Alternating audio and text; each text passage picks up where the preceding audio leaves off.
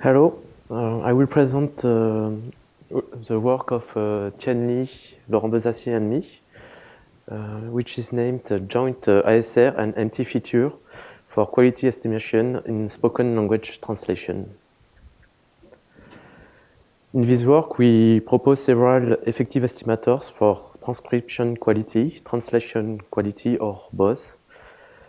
Um, automatic quality assessment for uh, of SLT allows to know if a system produces user acceptable uh, outputs. And uh, for example, in interactive speech-to-speech uh, um, translation, confidence estimation helps to judge if a translated term is uncertain.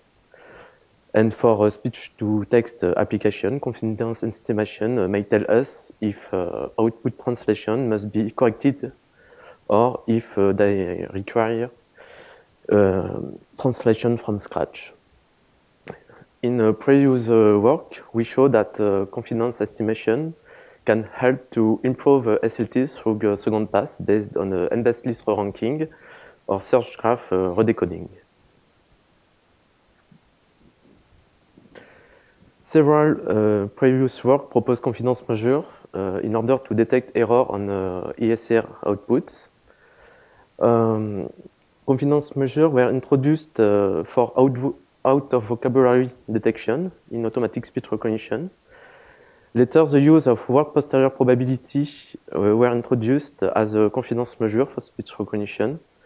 And recent approaches use side information extracted from the recognizer like uh, normalized likelihood, WPP, the number of competitors uh, at the end of a word uh, in the graph, the decoding process behavior, linguistic feature, acoustic features, and some external features like semantic features. Three years ago, uh, in the workshop on uh, machine translation, uh, was proposed a WCE task for machine translation. Um, several works uh, employed the conditional random field as a machine learning method to address the problem as a sequence labeling task. Uh, Biçici uh, proposed dynamic training with adaptive weight updates with a neural network classifier and focused uh, only on various n-gram combination of target words. And Luong integrated a number of new indicators relying on uh, graph topology, pseudo-reference, syntactic, syntactic behavior, and polysemic characteristic. And in general, uh, the estimation of uh, confidence score use mainly classifier based on CRF, SVM, or neural network.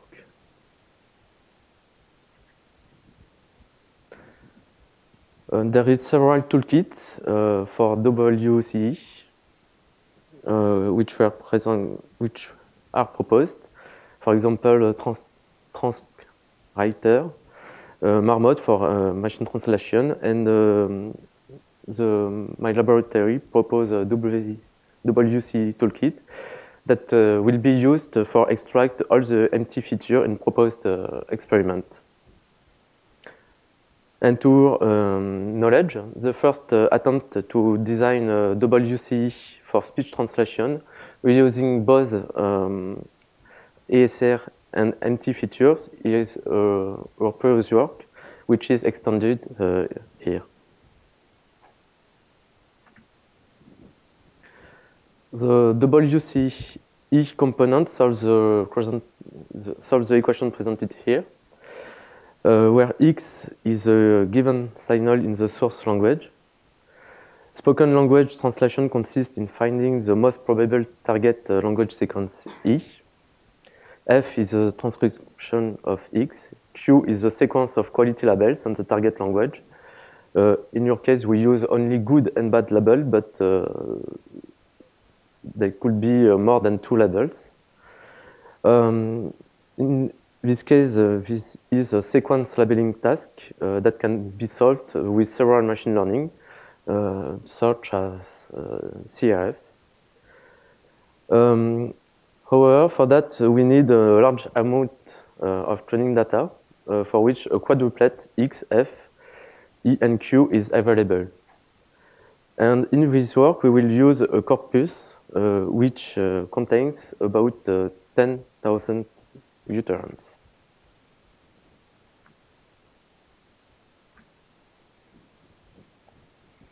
As it is uh, much easier to obtain uh, data containing uh, the triplet X, F, and Q, which is automatically transcribed speech with manual references and quality labels inferred um, from word error, rate uh, estimation, or the triplet uh, F, E, Q which is automatically translated text with manual post-edition and quality labels are inferred uh, using tools as uh, TERp-A. We decompose the WC problem uh, with the following uh, equation, where the alpha is a weight giving more or less importance to the um, WC of the ASR or the WC of the machine translation. And in this case, uh, P uh, ESR corresponds to the quality estimation of the word in the target language based on the feature uh, calculated on the source language uh, of the ASR. And for that, uh, we project source quality score to the target uh, using word alignment information between E and F sequences. Um, this alternative uh, approach will be also evaluated in this work, uh, even if it is correspond to a different optimization problem that uh, joint uh, optimization equation.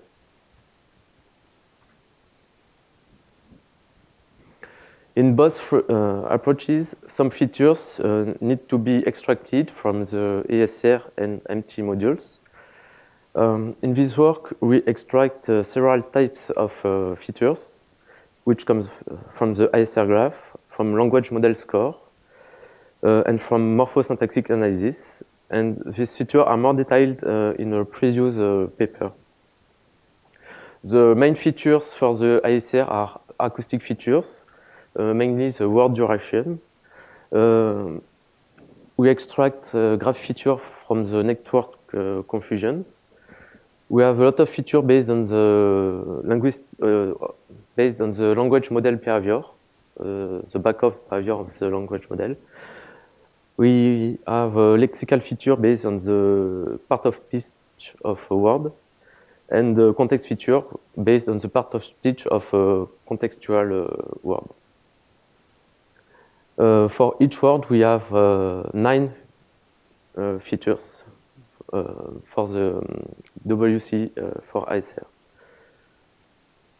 And in, in a preliminary experiment, uh, we evaluated these features for quality assessment in uh, ASR only. And we used uh, two different uh, classifiers, one based on the boosting algorithm and the second one based on the CR.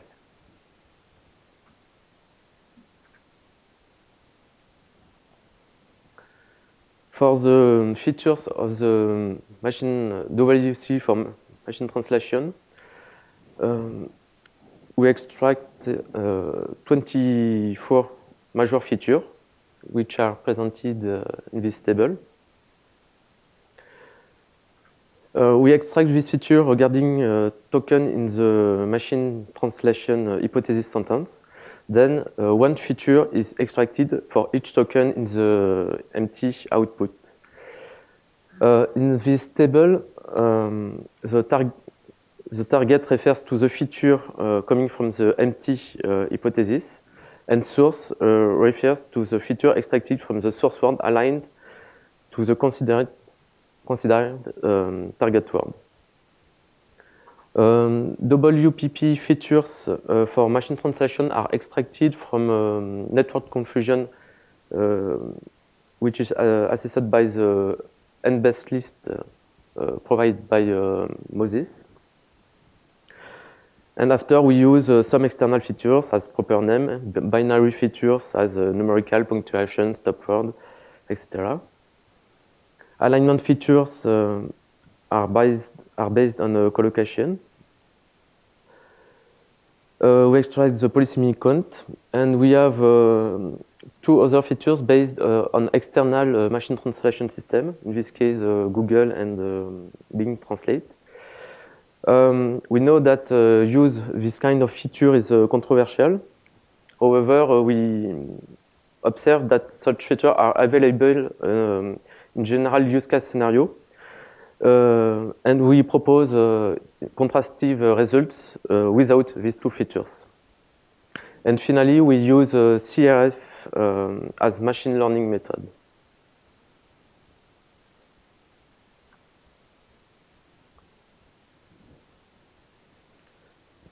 Um, the dev and test uh, of this corpus were recorded uh, by uh, French native speakers. Each uh, sentence uh, was uttered by three speakers. And for each uh, speech utterance, a quintuplet containing ASR output, verbatim transcript, English text translation output, speech translation output, and post-edition of translation was made available. And the total uh, length of the speech corpus is about uh, 17 hours.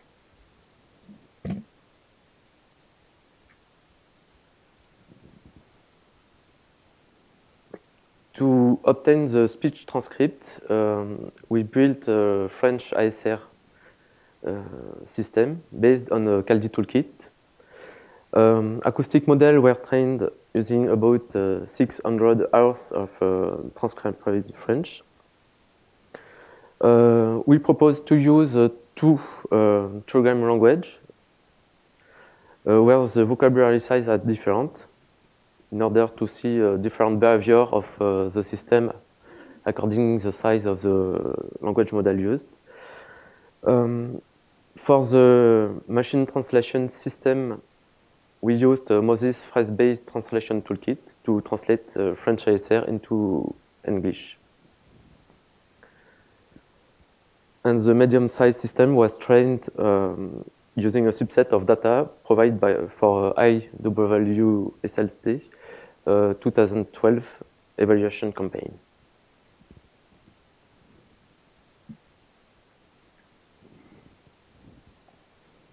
Uh, this table uh, presents the performance obtained by the two um, ASR systems. Um, this word error rate uh, may appear rather high according to the task, but uh, it's because there is a lot of foreign uh, named entities in the corpus. Um, and in addition, after the ASR, we have an automatic post-processing which is applied in order to match uh, requirements of uh, standard input for uh, machine translation.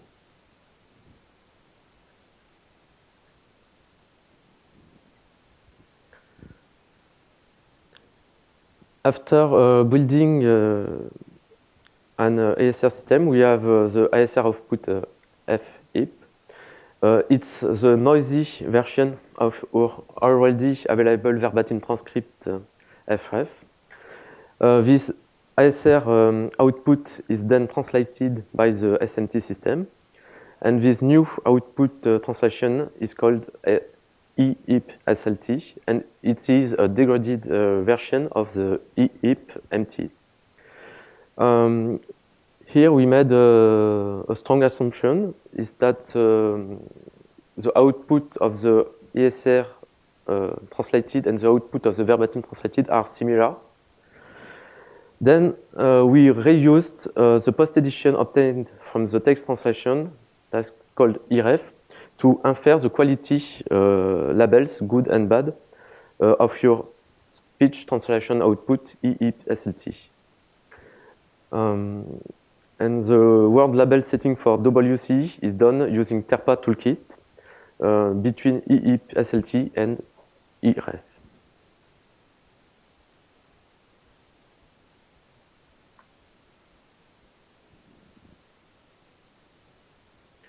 Um, the final corpus obtained is summarized uh, in this table where uh, we also clarify how the WCE uh, labels were obtained. Um, actually, uh, there is other corpora as a TED corpus uh, compiled by uh, LUME, which contain also a quintuplet.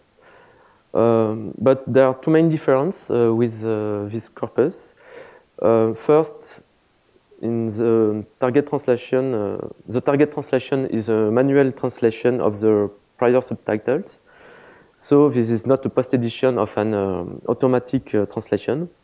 And secondly, in uh, our corpus, each sentence is uttered by three different seekers, which introduce precursor variability in the database.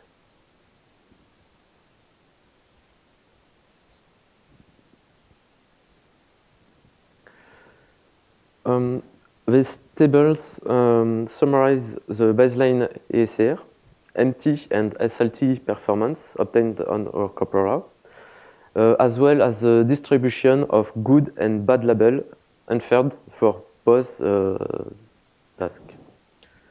And logically, um, the percentage of uh, bad label increased from MT to uh, SLT task in the same conditions.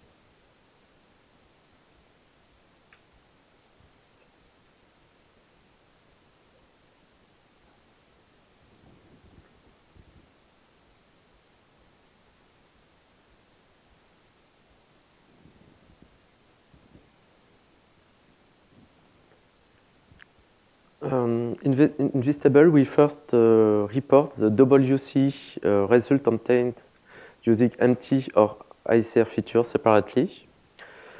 Uh, the first and second uh, systems use uh, ASR feature with two different classifiers, boosting and CRF.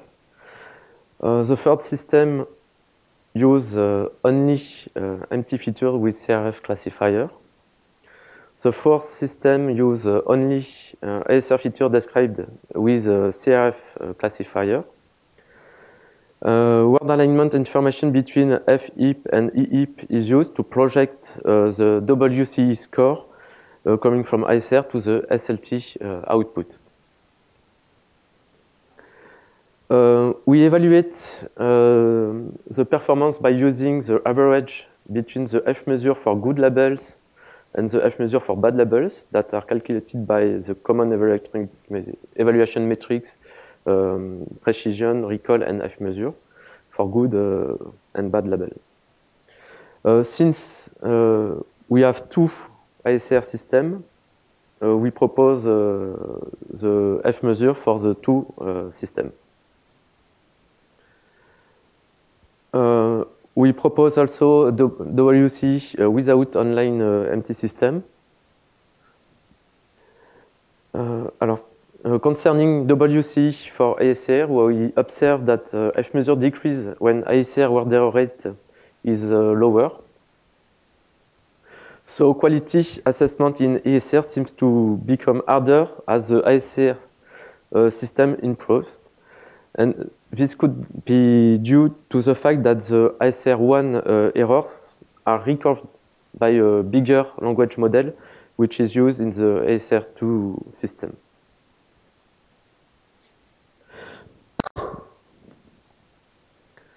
Uh, as can be seen from the result of WCE uh, for SLT, uh, we can see that uh, F measure is um, better using MT features rather than uh, ASR features. Uh, quality assessment for, uh, for SLT is more dependent of MT features than ASR features. Again, F measure uh, decrease when ASR er word error rate uh, is uh, lower. After uh, we use both MT and ASR features, we evaluate two different approaches, combination and joint. The first system uh, combines the output of two separate classifiers based uh, on ASR and MT feature. Uh, in this approach, uh, ASR-based confidence score of the source is projected to the target SLT output and combined with the MT-based confidence score. And the second system, joint features, uh, trains a single WC uh, system for SLT using joint ASR features and MT features. And in this case, uh, all uh, ASR features uh, are projected to the target words using automatic word alignment. Um, the results show that joint uh, and MT features do, do not improve uh, WC performance. And uh, we also observe that simple combination degrades the, the WC uh, performance. this later um, observation may be due to different behavior of WC of MT and WC of ASR classifiers, which makes the weighted combination ineffective. Uh, moreover, the disappointing um, performance of our joint classifier might be due to an uh, insufficient uh, training set. Uh, and this observation um, us to investigate the behavior of the um, WC for a large range of decision threshold.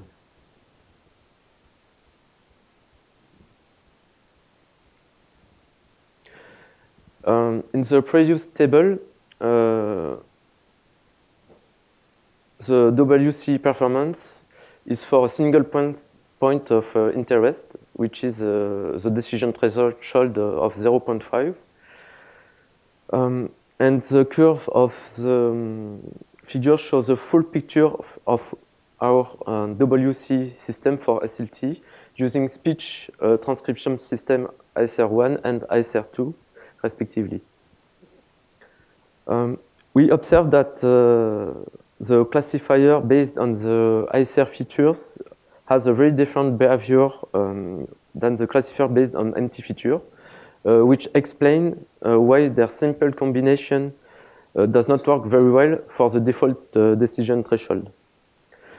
However, uh, we can see that for a threshold above 0.7, the use of both ASR and MT uh, features is slightly uh, beneficial.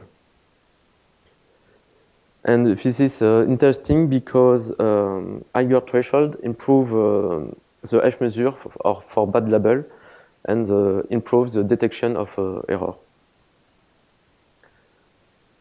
And this result um, suggests that with enough development data for appropriate threshold tuning, the use of both uh, ASR and uh, MT features should improve the error detection in speech uh, translation.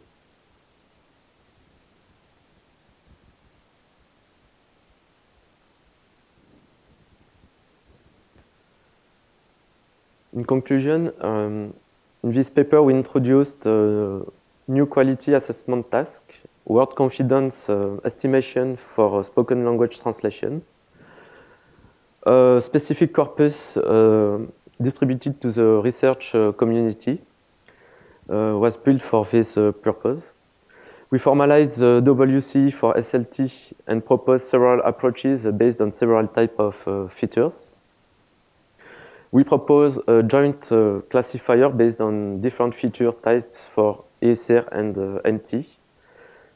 And our uh, experiment have shown that MT features um, remain the most influential uh, compared to the ICER features. But ICER features can bring interesting complementary information. And for uh, reproducible uh, research, uh, most features and algorithms um, used in this paper are available uh, through the, our toolkit uh, available on GitHub.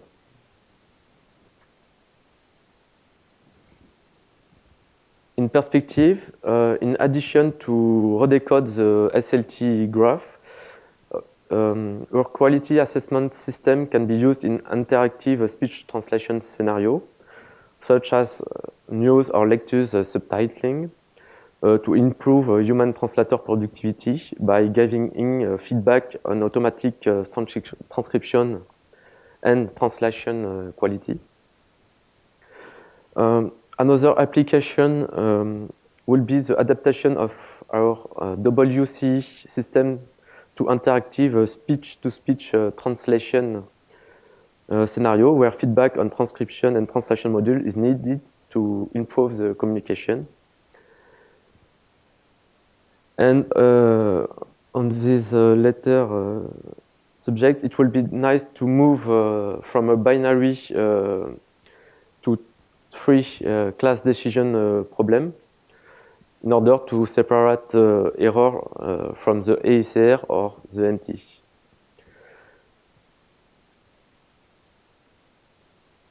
Thank you for your attention.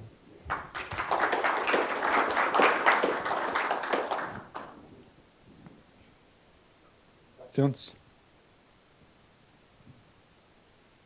So meanwhile, the data you are collecting here is are TED Talks, which are read again by three speakers, or what, what are the texts that you Ah, are? the text is um, um, Europarl. it's corpus. Europarl. Europarl corpus. Uh, it's uh, detailed. Uh, it's a work of uh. Uh, the um, the corpus was made uh, for post edition. Uh, it, uh, four years uh, ago, and for um, this experiment, we we have uh, record uh, three speakers for each utterance of uh, post-edited uh, corpus uh, in order to have uh, this corpus. Okay.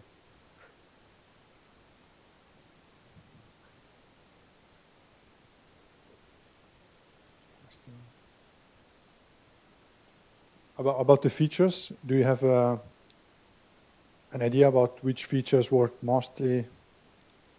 You have these 23 Um, features. in or, the uh, table, 24. yes. Uh, here the features are um, in the order of the impact. Ah, or this is already the order Yes. of impact. Okay. So how you evaluate policy we made a selection of the features, so we removed them in order to see uh, what is the impact of each feature. And So after, how is polysemy count uh, obtained? uh, it's a number of uh, options? yes, no, translation option for a word. So if there is ambiguity, uh, it's most probable to have uh, an error.